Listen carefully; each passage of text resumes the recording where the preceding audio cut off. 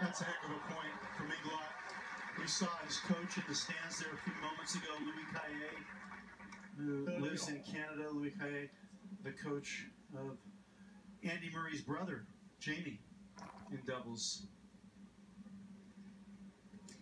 Well, about what percentage of finishing forehand volleys have gone up the middle from the number 16 seeds? About 100%. Yeah.